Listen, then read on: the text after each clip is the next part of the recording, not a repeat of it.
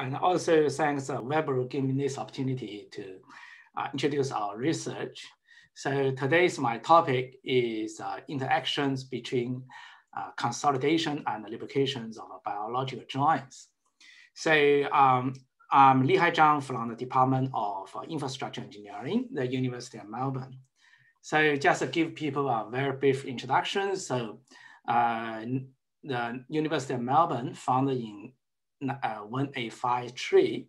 So this year will be celebrate uh, 168 anniversaries. We have many uh, distinguished uh, alumni. For example, four Australia Prime Ministers, five Governors General, and seven Nobel Prize winners. So hopefully uh, you'll have opportunity to visit us um, at the University of Melbourne. So this is my uh, research interest is um, focused on both uh, civil engineering and uh, also biomedical engineering. So uh, my research interest is in modeling flu flows, mass transfer, reactive transport in deformed porous media, and its application in articular cartilage and bone fracture healing, concrete corrosions, and wind resistant analysis. And also I'm interested in development of advanced stochastic analysis method and its application in life cycle structure performance assessment of bridges and cost benefit analysis of a large infrastructure project. So, so today's talk is more related to uh, bio-inspired civil engineering, how we learn from nature and how apply the lesson we learn from nature in civil engineering. So this is a Ponte Morandi Bridge uh, in Italy. So the bridge unfortunately collapsed on uh, 14th of August, um, 2018. So uh, killing 43 peoples. So after the bridge collapse, um, a range of um, investigations work has been conducted. So finally, people realize the bridge collapse is due to uh, 92 meters of precast concrete sections between pillars connected by the tendons, corrosions of tendons resulting the collapse. So this basically is uh, corrosions resulting from the crack of concrete. So if um, we're looking at how net nature solving the crack problems, so if we have a bone fractures, right, there will be four stages of healings. So first healing is hematoma formations followed by the fibrous cartilage callus formations, uh, bony callus formation, finally the bone remodeling occurs, result, uh, and the bone go back to the original. If we understand how the biological works, we might be able to apply the knowledge into the engineering. For example, the development of self-healing concrete. So if the concrete can, can self-heal, of the cracks, so the disaster of this bridge can be avoided. So this is another example on, on January 17th, 1994. So a magnitude of 6.4 earthquake struck the San Fernandino Valley region of LA, killing uh, more than 60 people, injuring more than 9,000. So the reasons uh, of the collapse is uh, because of the bridge seismic isolation bearings not working. So, so if we're looking at human articular cartilage, later on I will talk about that. It's a three millimeters um, uh, T tissues, can, can absorb the shocks, can last longer, can, uh, can the anti-wear resistance, so if we can apply the cartilage knowledge uh, into the bridge seismic isolation bearing design and construction, we can also significantly improve the earthquake resistance of the bridges as well. So this is also a range of uh, bio-inspired materials, such as bones, shells, and deep sea sponges, so which have a unique structures right? So if we can apply this um, structure into the engineering, so we will have a light, strong bridges and engineering structures. However, today, none of these uh, new materials are very successful. So this is because of lack of fundamental understanding of the mechanic and chemical conditions that govern the behaviors of biological materials. So there is some uh, mechanics and chemical environment in order to make this material durable. This is something we don't understand. So why engineers always have affinity to the mechanics of biological material and, and structures. So this I use uh, this as examples. Uh, we, as an engineer, we look at um, how nature solves its problem. For example, so this is a shell of the eggs, right? We understand how the shell of the eggs works, come out the series of shells. Then for the design of Sydney Opera House, the roof.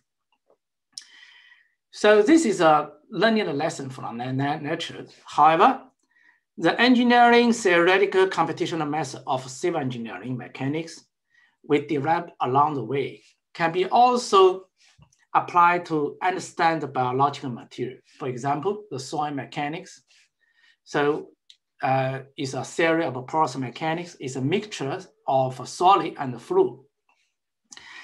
Now we are using this series of soil mechanics to model the human tissues, who is also a mixture of solid and fluid. So this is basically examples. Later we'll talk about that. The soil mechanics porous media series apply to model the human articular cartilage. So let's give, uh, let me to give a very, very simple um, explanations of um, porous media. So the theory of porous media is widely used to describe the soil content transport and mechanics. So we also have uh, used this um, uh, picture as an example. So this is the water. The water can free uh, freely in the river. So we use a Navier-Stokes equations. So at the boundary between the river and the water band, so it's a Brinkman equations. And for the fully saturated soil, we are using Darcy's law. And for the unsaturated soil, we use a Richards equation. So that is what we are doing. This is the fundamental uh, uh, theory of porous media. So let's uh, looking at how we are going to apply this theory in to understand the human tissues, which is uh, articular cartilage. So this is our knee joints, right?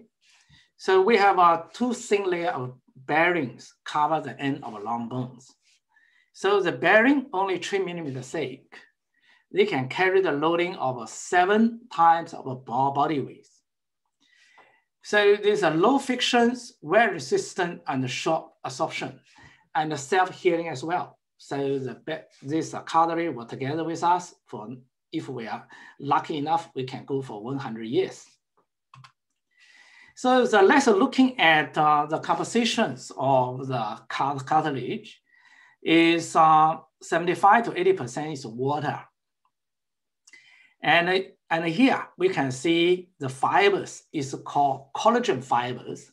So collagen fibers actually is a carry the tensile and shear of the tissues. We also have a proteoglycans. So this is the proteoglycans. It's a negative charge. So if it's a negative charge, when the cartilage under low loadings, you basically squeeze all the negative charge molecules in a very, very small volume. They will generate compressive stiffness because we know the negative charge putting together will be a repulsive forces. Chondrocyte is a 5%, actually is, uh, is called cartilage cell. It's responsible for the self-healing throughout the life cycle of the cartilage tissues. So this is our project. So what we are trying to understand the fundamental lubrication mechanism of the cartilage. So if we're looking at engineering bearings, engineering bearings, in order to consistent wear, the engineering bearing, the surface is smooth and rigid and hard, right? This is the engineering bearings. But let's looking at human biological bearings. It's a rough, so the surface is rough.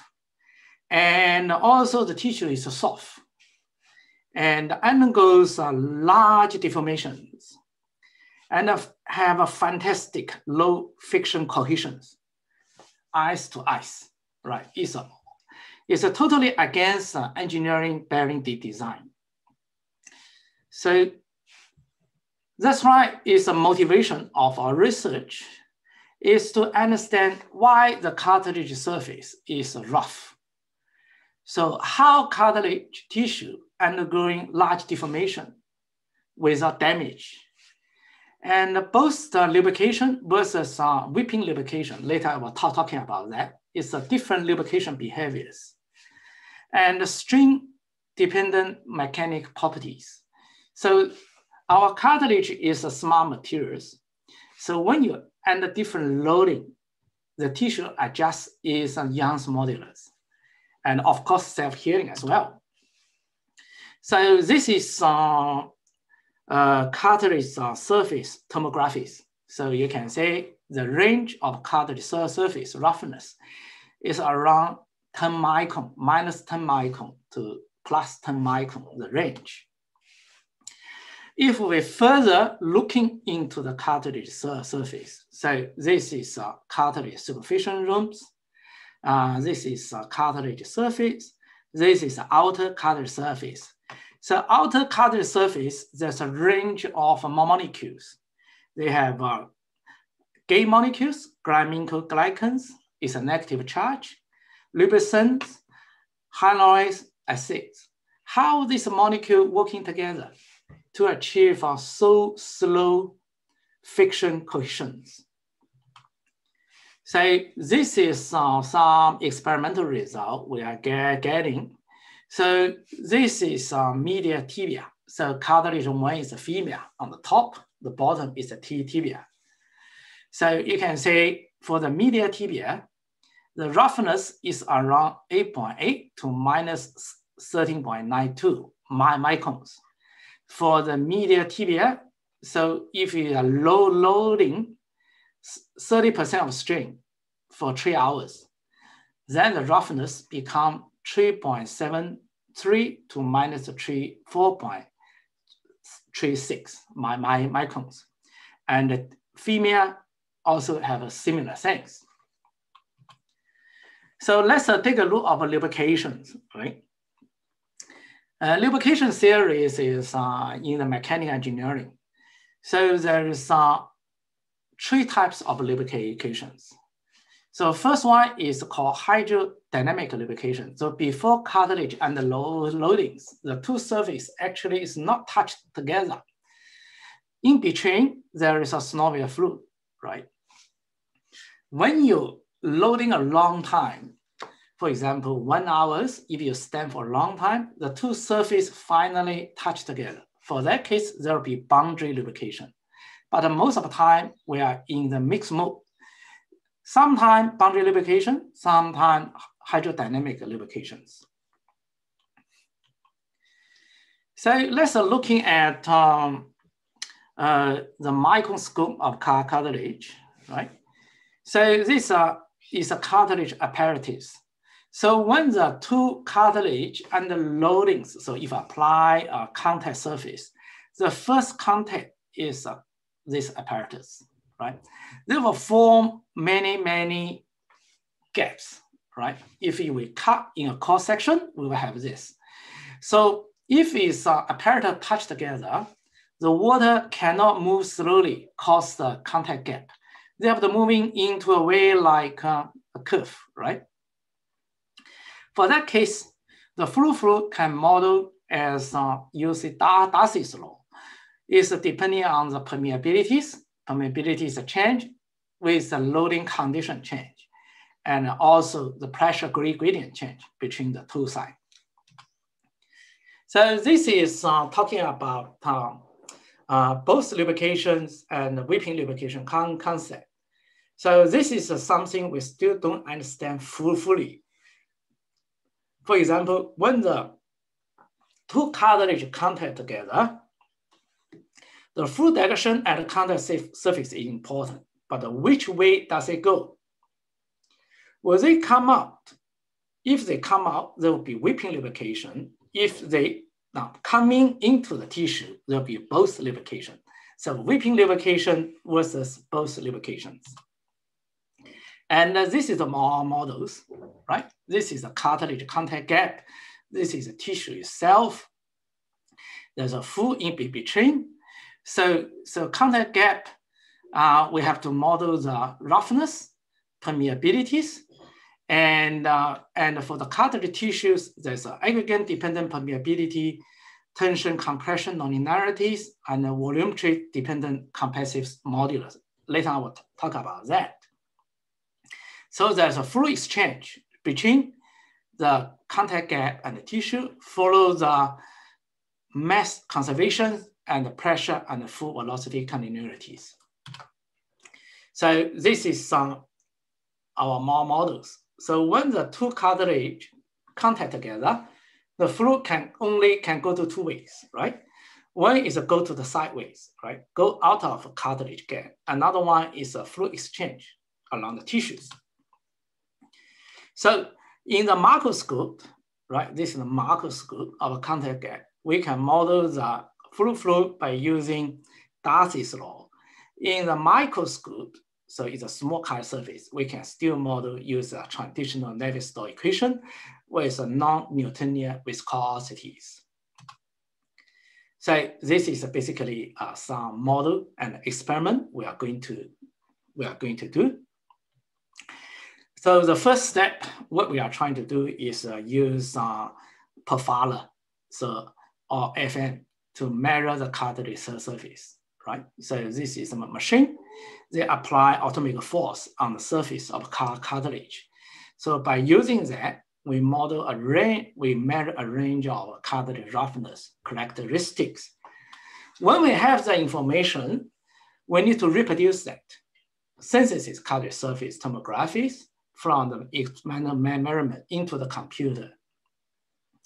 So there will be uh, several mathematical manipulations, secondary derivations, tertiary and durations, and finally choose uh, height distribution functions, auto correlation function, fast Fourier transformations, and power spectrum density functions. By using that, we can in computer reproduce uh, surface roughness of the tissues. After doing that, then we can apply the loading on the cartilage surface to evaluate the gap permeabilities. So this is the results. So right. So one case is a contact gap and cartilage coupling models. One is a gap model without cartilage which means uh, we are not saying there's a no exchange between contact gap fluid between contact gap and cartilage. If there is a no fluid interchange between contact gap and cartilage tissues, so you can say the fluid quickly going down in several seconds. So we need the synovial fluid stay within the contact gap longer to enhance the dynamic uh, mixed move um, lubrications. So when the gap and the cartilage coupling together, so you can see the fluid in the contact gap can stay much longer. So which means the fluid be ex exchange between contact gap and the cartilage play, play an important role in prolong the hydrodynamic lubrications of the cartilage. Another challenge is a large deformation. We are talking about the porous media, right? So because the cartilage is soft tissues, so when the strain over 30%, normal Cartesian coordinate system is not enough to model the cartilage deformation. We have to use material coordinate system. So cartilage have a two phase. One is a fluid phase, another one is a solid phase we have to choose this material coordinate system to bring these two phases together to from the Cartesian uh, coordinate system into the material coordinate system. So this is basically uh, showing some transformation from the Cartesian coordinate system to material coordinate system. So this is a conservation of a mass of a solid phase and a fluid phase, and the conservations of a momentum, right? So this is uh, Js is a volume change of solid phase, which is a Jacobian determinant of the deformation gradient of a solid phase. So Fs is a deformation of a gradient of a solid phase, and the C is, and the Cs is a right Cauchy-Green deformation tensor of the solid phase.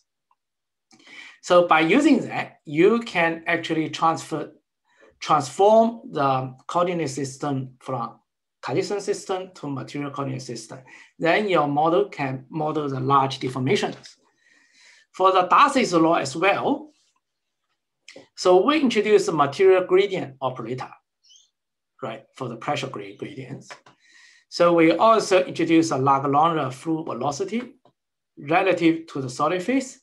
That is a material time derivative of Lagrange relative fluid displacement.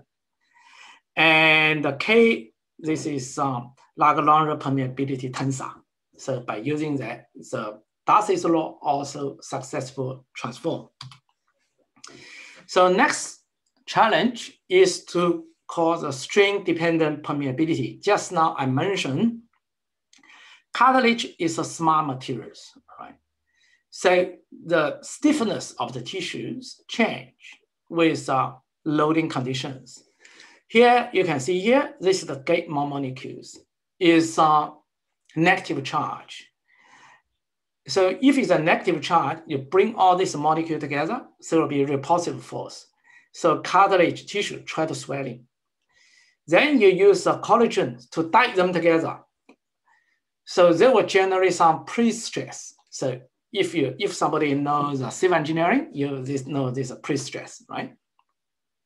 So under low loadings, when there's a small, small gate molecule squeeze to a small area, so we introduce something called volumetric strain-dependent compressive stiffness. So when the volume of the tissue becomes smaller, the tissue becomes harder. It's a Young's modulus, increase significantly. So this is some, uh, some results uh, compared to some um, experimental result from MIT our collaborator, Professor Alan Grodzinsky's. So the blue line is a numerical result without consider the strain dependent stiffness. For that case, the result cannot match experiment data very well. If we incorporate the strain-dependent stiffness, so we can match the experiment data very well. So here, this line showing the loading phase. When you have a low loading, the cartilage will have a large deformation. And this is the unloading phase, just like you work, you load, unload, you load, unload, right? This is a unloading phase, this is a loading phase. The match with the result very well. So the next challenge is to model the ECM extracellular matrix. So this is solid phase all called extracellular matrix. Tension, compression, nonlinearities. So the tissue of car cartilage, so they're exhibiting different tensile and compressive um, stiffness. So for that case, you can say tensile stiffness and uh, compressive stiffness is not a linear. If it's a steel material, they'll be linear, right? So the tensile is carried by the collagen. So the compressive is uh, actually is car carried by the gamma molecules. So the model have to be smart enough. So at a certain point, if you under compression, you have to use a compressive stiffness. If a certain point is under tension, you have to use some tensile stiffness, right? So this is the basic equation. It's called tension compression nonlinearities. So next areas we are looking at is a cartilage self-repair. Especially we are looking at uh, insulin-like growth fact factors, which is uh, important molecules. They are interacts with uh, uh, this uh, chondrocyte. Chondrocyte cartilage, a cartilage cells bonding to the cell face, uh, surface receptors, resulting increased production of cartilage matrix. However, these molecules have to diffuse into the cartilage tissues because uh, cartilage is a special tissue, there's no blood vessels. All the new nutrients like growth factor have to diffuse into that through traditional diffusions. So this is the equations uh, we developed. So the first equation is uh, mass balance uh, for solid phase and fluid phase is traditional continuum mechanics, right? Just now we talk about cartilage is a mixture of solid phase and fluid phase. If you do mass balance and combine the equation together and also consider the Darcy's law, so you will have a mass balance of solid phase and fluid phase. So this is a mass balance for phase. So if a growth factor, you need to transport into that. So also have a bonding property. So it's a reactive transport, which means when you have a transport, you, you have a massing chemical reaction along the way. So this is also a balance of linear momentums, right? So this is um, uh, one cartilage under loadings is a fluid pressure and uh, this um, effective stress, which is a solid phase contact together, add up together to resistant low loadings, just like a soil. Uh, if you have a soil, you have a solid and a fluid. If you apply a loading on the soil for a longer time enough, the fluid will come out from the soil. The, the solid particle of the soil will contact together, will resulting effective stress. So the, the resulting settlements.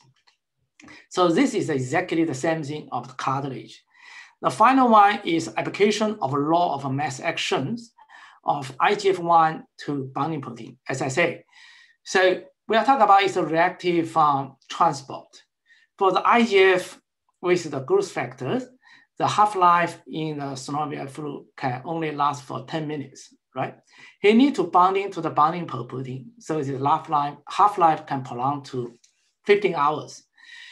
Then he can, it is a biological effect. So these are three equations, including mass balance equations for fluid phase, solid phase, and solid phase growth factor, and also linear momentums, and also reactive transport. So this is basically the take home my message, right? Is come to the final conclusions.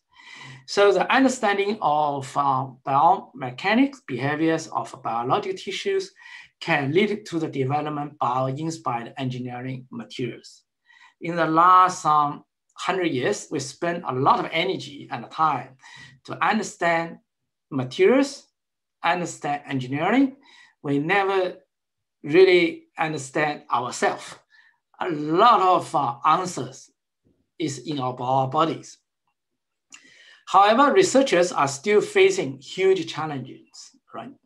For example, the development of deformable porous materials with a relatively low permeability of fluid, fluid fluid, a high concentration of highly charged molecules like cartilage, a suitable boundary lubricant materials and self-healing process. So we haven't achieved to that yet, but our tissue, our body already achieved that maybe thousands of years ago, right? So understand ourselves is very important. So I like uh, take this opportunity to thank uh, Professor Alan Grodzinsky uh, from Manchester Institute of Technology, MIT. We work together for the last 15 years. And Professor David Smith uh, from University of uh, Western Australia. And uh, Professor Bruce Gardiner from Monash University. I also like to acknowledge our uh, PhD students and research fellows. Uh, finally, um, I'd like to uh, welcome all of you come to Melbourne and visit um, uh, University of Melbourne. Thank you very much.